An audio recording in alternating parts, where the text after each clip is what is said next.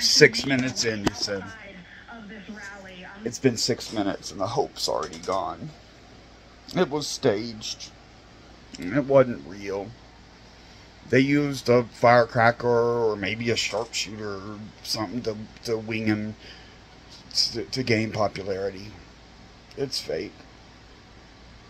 You don't miss. Snipers don't fucking miss and cause light head wounds.